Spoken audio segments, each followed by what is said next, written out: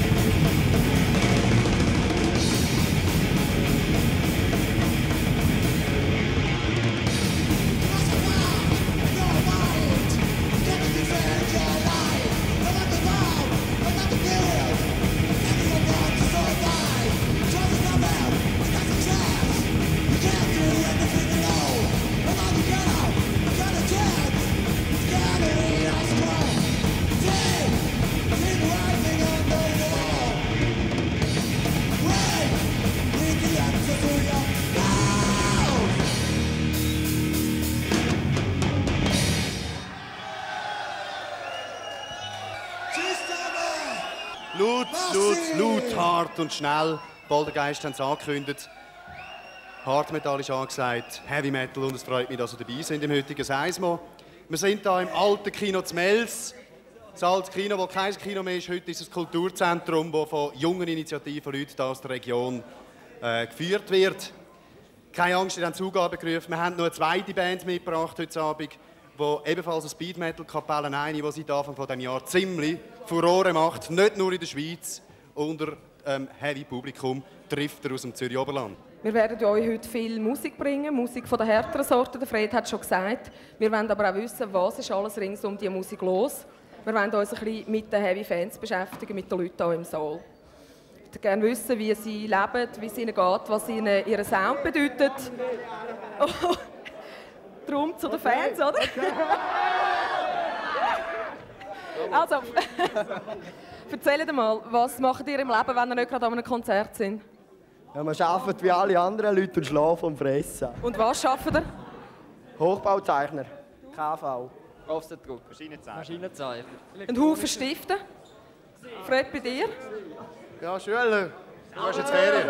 Ja, nein, noch nicht. Noch nicht? Da musst du mal noch. Dann musst du mal. Mann, ja. Sechs. Jetzt, jetzt ist es so, dass Heavys, Heavy Metal Fans haben eigentlich recht einen schlechten Ruf. Ich glaube, ihr wisst das. Unter anderem heisst zum Beispiel, sie seien gewalttätig. Ist, ist das tatsächlich so? Redet ihr auch mal mit den Füßen? Nein, das ist überhaupt nicht so. Wir sind friedliche Leute wie alle anderen auch. Man sieht ja, wie friedlich dass wir gesehen sind vorher. Woher kommt, woher kommt denn das? Habt ihr das Gefühl, woher kommt das Vorurteil? Äh, Von der Grossen, von der, von der, von der Gruppe, die zusammen sind und alles zusammenschlagen. Die nur auf das aus sind, zum anderen verschlagen. Du sagst, Ihr redet nicht mit den Füßen? Nie? Nein, selten. Selten? Und in welchen Fällen doch? Ja, wenn man ein fest aufgeregt wird. Zum Beispiel, äh, wenn sich so Scheißpopper daherkommen. Genau! Und meinen, sie müssen unsere Musik runter vor zwei Jahren oder so, vor, auch jetzt in letzter Zeit hörst du immer wieder von, von Schlägereien, von Prügeleien, Heavies gegen Breakers, Heavies gegen Skinheads und so. Sind ihr da, die Engel werden ihr immer nur angegriffen, sind ihr wirklich so lieb? Äh, also, das kommt darauf an. Wenn noch Alkohol im Spiel ist, dann äh, habe ich das Gefühl, dann äh, wird der angezündet und dann ist halt der Rauferei schnell da. Gehen ihr auch an Fußballmatch? Ja, sicher, das ist ja auch etwas, was dazugehört. Wegen dem Fußball? Äh, also, also ich, ich bin nicht, ich gehe nicht. Ja, wegen Fußball. Ich gehe äh, fast regelmäßig es ist beim Moos St. Gallen. Bei, wir waren ein Fanclub und äh, ich konnte mich können abreagieren dort, sei es jetzt, äh, äh, mit ein bisschen randalieren oder mit ein bisschen Leuten abpöbeln. Äh, es ist einfach lustig. Ist jemand rum von der Poltergeist? Dort. Ja. Und der andere und davon? Was habt ihr für Erfahrungen gemacht mit Gewalt? Was habt ihr für ein Verhältnis zur Gewalt als Band? Ah, ich finde, Gewalt ist das Schlimmste, was einem Heavy Metal Konzert kann passieren kann. Wenn Fans sich gegenseitig prügeln, zeigen sie nur, dass sie völlig primitiv und blöd sind.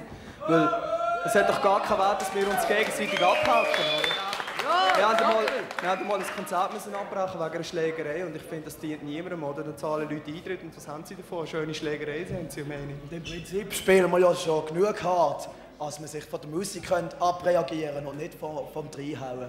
Nein. Und äh, ja, Meinst du, der verhebt, ist es nicht Musik, die wo, wo, die- wo halt äh, gerade so Aggressionen provozieren kann? ja, das kommt auf die Einstellung vom Typ drauf an. Ist eure Musik gewalttätig? Ähm, vielleicht Musik schon.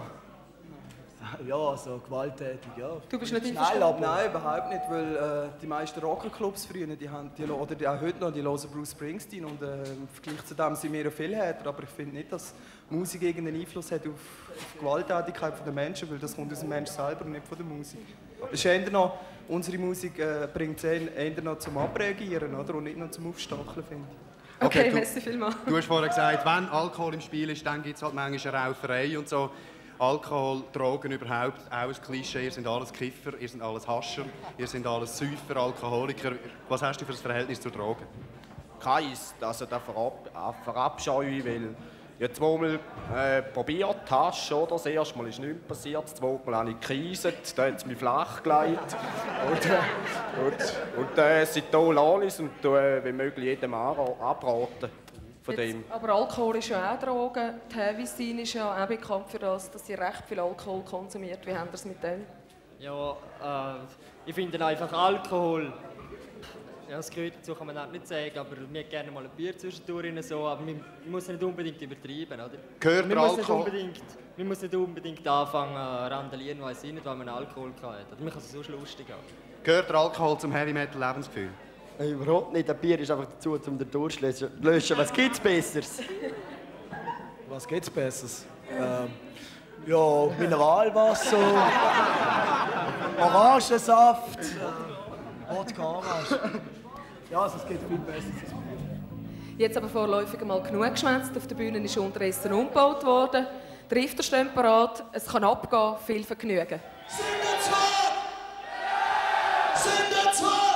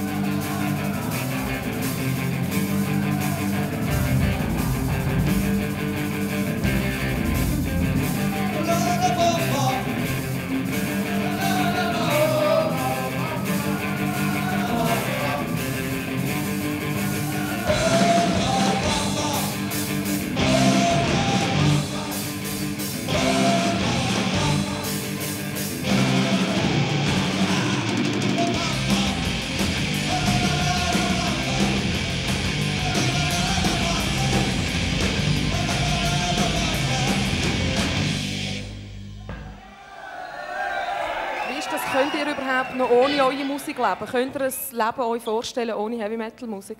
Also ich glaube, Eine andere Frage, sind ihr süchtig in dem Fall?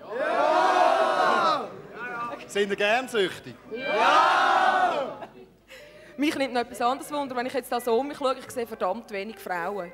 Ist dann eigentlich Heavy Metal wirklich eine Mannensache? Du bist eine der wenigen Frauen, die ich gerade gesehen habe. Also ich finde überhaupt nicht, also ich meine, in Zürich so gibt es vielleicht mehr, aber da weiß ich auch nicht, wieso es das so ist. Also, keine Ahnung.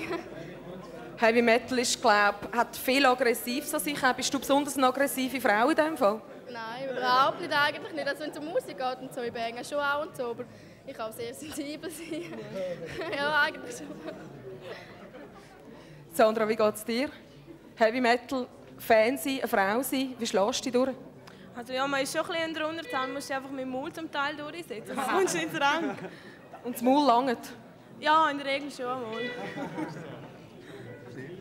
Ja, ich meine, ich kann einem als Frau die Musik gefallen und mir gefällt es in der Stadt. Aber eben, es ist eine Szene, wo vor allem Männer sind. Du kannst jetzt hier umschauen. Wir haben jetzt genau drei gefunden, dich, sie und sie. Äh, kommst du da Schlag? Ja, sicher, wieso nicht? Ich meine, ja, es ist logisch, dass es mehr Männer hat, weil es, es ist schon harte Musik, aber Ich meine, jetzt weißt du, gegen all die Kollegen mit all diesen grossen Mühlern, die wir hier sehen, kannst du dich da durchsetzen?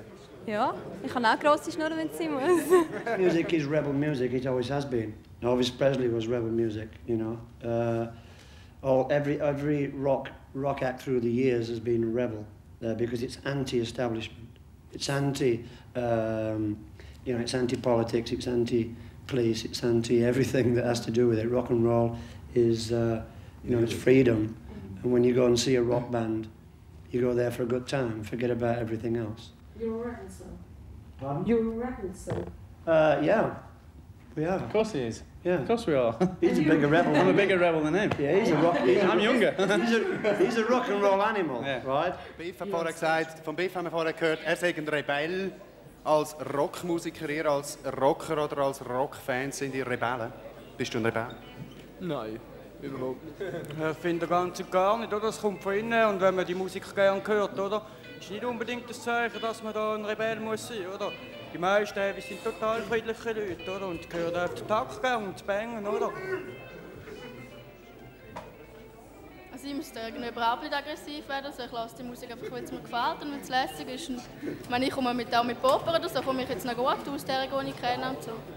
Also du bist auch da vorne, äh, vorne an der Bühne gestanden, hast ziemlich den Kopf geschüttelt, oder? Ein klassischer Headbanger. Sind das Aggressionen, die du da rausschüttelst aus deinem Kopf, oder was ist das? Also ich finde, bei dieser Musik kann man sich richtig austoben. Oder? Man kann alles rauslassen und wenn, wenn man von einem, so einem Konzert geht, ist man irgendwie zufrieden, man hat sich richtig austoben. Was müssen ihr denn rauslassen? Was ist denn drin, was raus muss? Vielleicht da hinten? Die Wut. Was für eine Wut? Eine Wut auf was? Also man kann sich abregen mit dieser Musik. Was hast du für eine Wut, die du musst rauslassen Also wenn ich jetzt zum Beispiel auf andere Typen verrückt bin, ist es besser, dass ich jetzt meine Wut in dem Stil rauslasse, als wenn ich schläge. Das ist besser. Ihr, seht, also ihr fallt doch eigentlich recht auf, so wie ihr ausseht. In der Stiftung zum Beispiel, in der Schule, habt ihr da nie Lampen, weil ihr so umeinander lauft. Nein, in der Schule eigentlich nicht. In der Stiftung habe ich eigentlich auch so, abgesehen vom Skile und so. Aber weil ich bin Verkäuferin, so, da kann ich schon nicht so rumlaufen. Aber so in der Schule und so laufe ich ganz normal so rum. Kein Chef, der Schwierigkeiten macht, weil jemand in der Kutteneinfahrt zu lange Haare hat? Wohl. Wohl. Also, äh, ich gehe jetzt regelmäßig nur noch arbeiten mit Luca-Hosen, weil es hat geheißen, wir sind eine ziemlich grosse Firma und es hat geheißen, wenn da Kundenbesuch kommt und so, sieht es besser aus, wenn die bisschen anders anschauen. Also wir haben noch viele Führungen durchs Geschäft durch und wenn dann also wirklich extrem rumlaufst, schaut jeder blöd an und dann hat es auch nicht so gerne. Heisst das, dass ihr euch einfach, was die Kleider anbetrifft, anpasst, die Woche durch, wenn ihr arbeiten geht? Also ein bisschen gemäßigt rumlaufen, ja. Wie ist das in den, in den Dörfern? Schauen euch die Leute nach, wenn ihr durch die Straße lauft? Also, ich nehme jetzt auch auffallen, wenn ja, wenn ihr so rumlaufen. Ja sicher, es ist schon eine Einstellung, wenn du rumlaufst. Oder? Und wenn du durch, durchs Dorf gehst, besonders ältere Leute, oder, die schauen dir an und denken, was ist das für ein Spinner? Und viele auch daheim, oder? die Eltern, die verstehen das nicht. Werden ihr dann auch schikaniert? Also schikaniert werden wir bis jetzt noch nicht und hoffen auch nicht, dass uns nicht jemand schikaniert. Wir sind einfach selber friedliche Leute und wenn niemandem zu leid tut, wir haben einfach unsere Musik und sonst lassen wir die anderen Leute in Ruhe. Ihr kennt das alle auch nicht, Schikanen, so wie ihr rumlauft? Alle Militär muss da abschneiden, oder? Das ist scheiße. Wir lassen immer die Haare wachsen, oder? Nachher mit einem Flipper sieht es besser aus. Und dann kommt man in Teres, und dann schnipp, schnipp. Das ist negativ. Das ist nicht... Wie ist das bei euch beim Arbeiten? Ja, ich bin Koch. Ich muss auch die Haare abhauen.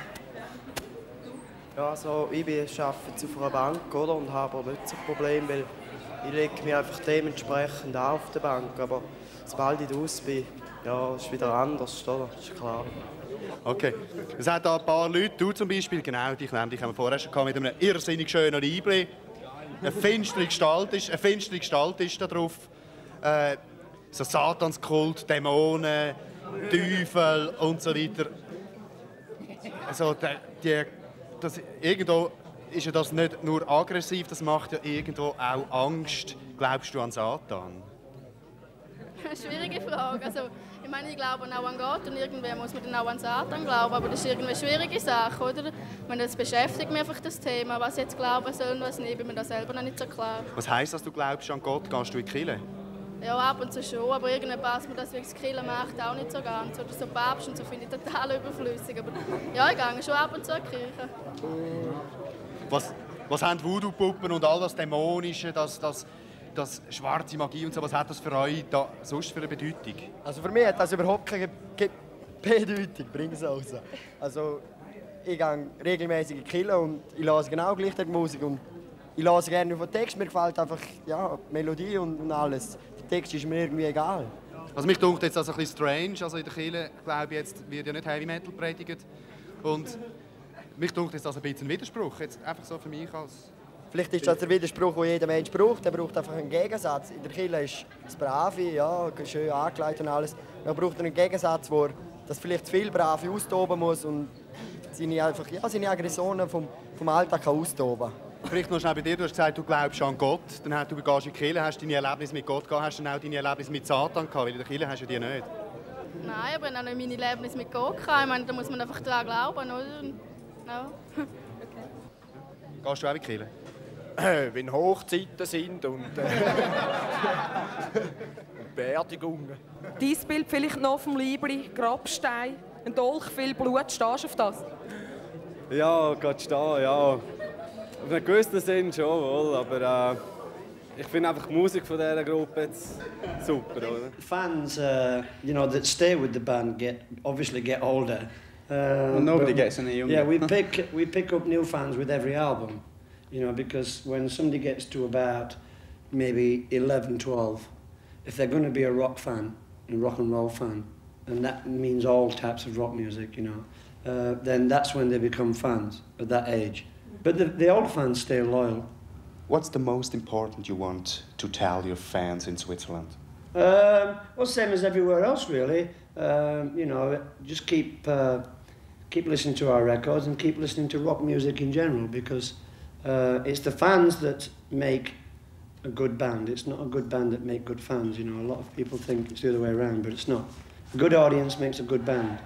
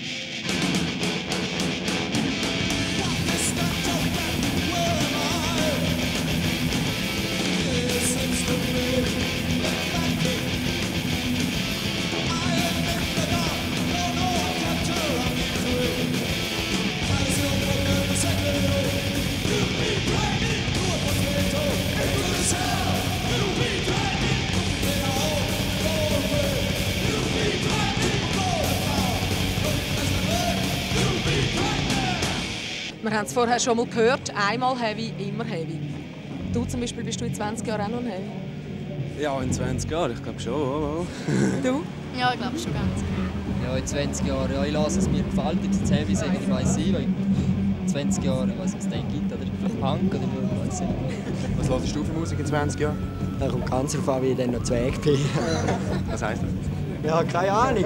Ich weiß doch nicht, was ich 20 Jahren lasse. Kommt ganz darauf an.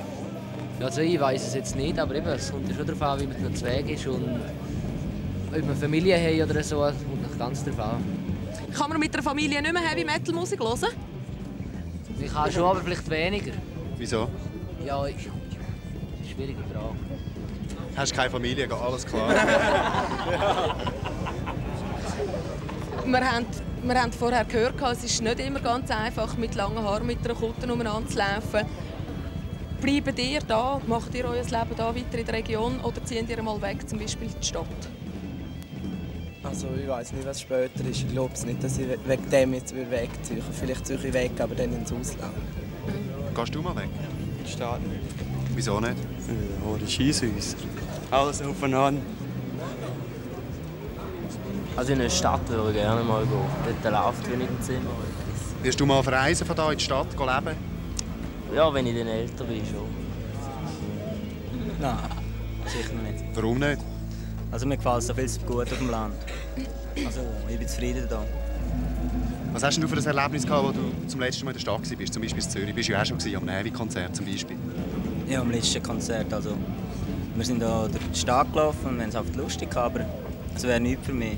Also die ganze Zeit auf die Straße achten und alles. Nein. Was ist der Unterschied, wenn man in Zürich durch die Straße läuft als Heavy, zu wenn man in Zevelen oder da in Mels durch die Straße läuft als Heavy? Gibt es da einen Unterschied? Also ja, hier in Dorf raus wird mir eher als normal also, angehauen. Was heisst angehauen? Also sie akzeptieren es einfach nicht. Zum Beispiel es gibt verschiedene Gruppen, also Teddys und so. Und die vertragen sich jetzt halt nicht mit uns. So, es ist halt so. Und in der Stadt ist alles normaler, oder habe ich das jetzt falsch verstanden? Also ja, sie schauen uns einfach, sie akzeptieren uns, wie wir sind. Wir können einfach rumlaufen. Ich frage bei mir auch noch schnell, Fred, was ist der Unterschied für dich auf dem Dorf oder in der Stadt? Ja, also hier im Dorf wird man einfach viel blöder angeschaut, wenn man so rumläuft als in der Stadt, weil dort ist wahrscheinlich irgendwie... Ja, ja es gibt viel mehr, die so rumlaufen. Aber bleibst du da wohnen oder ziehst du mal weg später? Also jetzt bleibe ich sicher noch da und vielleicht in einem Jahr oder so verreise ich sicher mal irgendwo her, bisschen raus. Aber nachher komme ich wahrscheinlich wieder her zurück. Ein anderer grosser Wunsch? Ja, mein Wunsch ist eigentlich so, wahrscheinlich, wo jeder hat, einmal einen Freund oder so und dann irgendwann später, mal, also viel später, dann irgendwann einmal heiraten und Kind und ja, eigentlich ja, ein normales Leben. Aber ich lasse wahrscheinlich dann immer noch Heavy Metal. du? Ja, mein grösster Wunsch ist mal eine Familie zu gründen und mit dieser Familie einfach durchzukommen. Oder? Ist ja nicht das genau das Spießige, was du jetzt eigentlich heute äh, dagegen demonstrierst, indem du als Heavy durch Gas läufst? Nein, nicht in dem Sinn. Äh, wenn du tatsächlich durch die Gas läufst, dann nachher... Ja, in Zürich ist jetzt äh, anders wieder da, oder? In Zürich läuft keinen aus, schaut keinen an, oder? Da schaut jeden an, oder? Aber äh, zu einer Familie gründen gibt es eigentlich kein Hindernis als, als äh, Heavy Freak. Letzte Frage vielleicht von mir. Was sind für euch Spießbürger? Also für mich sind Spießbürger äh, Leute, die, die ausrufen, wenn irgendwo äh, schon Lärm ist, bei einem Fest oder so, und Leute gerade die Polizei an. Und, äh, das sind für mich die grössten Spießbürger, aber selber machen es vielleicht selber Scheiß. Also ich finde jetzt, äh, also die, die sich total anpassen an andere, also man sollte sich doch jeder seinen eigenen Stil suchen und bei dem Stil bleiben.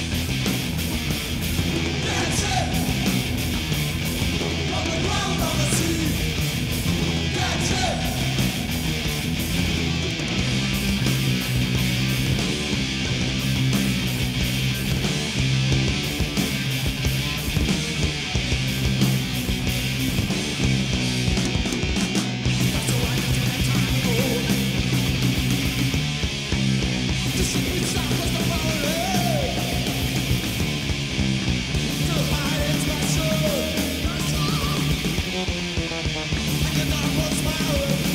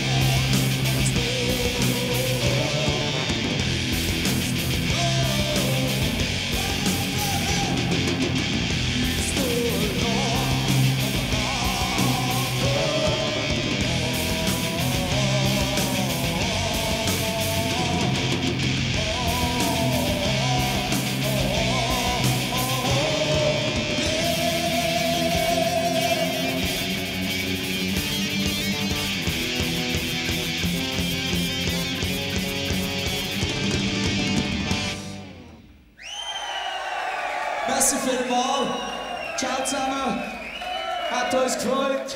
Wir sehen uns sicher wieder mal. Tschüss zusammen.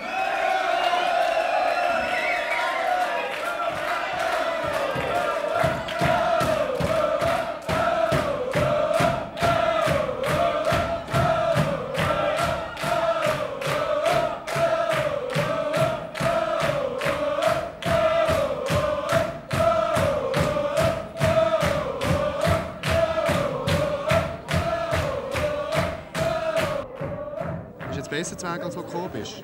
Ich hätte mich immer so auf der Bühne gesehen, rumgumpen. Jetzt habe ich mir so auslassen. Was hast du müssen? So auslassen. Was hast du rausgelassen heute Abend? Ja, alles. All den Frust, den ich aufgebaut habe. Und wo, nimmst du den, wo, wo baut sich der Frust auf? Ja, im Alltag. Im Alltag einfach. Was hast du rausgelassen? Ja, was habe ich rausgelassen? Meine Freude. Hörst du noch gut nach dem heutigen Abend? Hä? Hörst du noch gut nach dem heutigen Abend? Du, ja, ich meine, das ist nicht Alltag, wo ich an ein Konzert gehe, oder? Und die Heim lasse ich auch ein bisschen easy, oder? Kannst du nicht den Kopf schütteln dazu, wenn du daheim an Platten heavy hörst? Je nachdem, wie ich zu Weg bin. Lacht dich deine Mutter nicht aus? Ja, die muss ja dann nicht ins Zimmer kommen, also meine auslachen. Nein, tut sie alles, sie akzeptiert es. Sag, was hast du am heißesten gefunden heute Abend? Driften. Trifft er. Warum fährt er das Ende so gut ein? Ist einfach geil. Wie viele Stunden Heavy Musik hören ihr so pro Tag? Also bei mir, also ich habe jetzt noch alles Heavy Metal Platten. Und wie viel hörst du da so pro Tag Durchschnitt? Ja, so wenn ich am Mittag heimkomme, morgen bis nach die am 4 Uhr am Morgen so, kommt das ganz drauf an. Wie viel hörst du so täglich? Ja, es lang, also, es lange Zeit, halt die ganze Zeit, wenn es geht. Wenn es geht. Also läuft eigentlich ständig der Sound bei dir daheim? Ja, nicht der Alltag, also der Alltag kommt darauf an, wenn ich Kopfweh habe, dann nicht, wenn ich krank bin. Sonst immer ist es Wohnst du noch bei den Eltern? Nur bei den Eltern daheim richtig. Und was meinen die dazu, wenn du heute den ganzen Tag so dröhnt, wenn du daheim bist? Oh, die meinen auf, die sind nicht gerade so überzeugt. Gut gewesen da vorne? Mal, aber eng. Ist nicht ein bisschen heavy, so als Frau dort mit so vielen Typen, die so... Mal ist aber geil. Mal man lernt viele Leute mehr kennen. Und als, ich finde, als Frau, man hat irgendwie, ja, man ist irgendwie, ist etwas anderes. Gefallen dir die Typen von der Band? Ja, also ich kenne auch alle. Könntest du dir vorstellen, einen von denen als einen Freund zu haben? Nein, eigentlich nicht. Und warum das nicht? Weil ich keinen von denen liebe. Könntest du dir vorstellen, die können verknallen in so jemanden? Nein.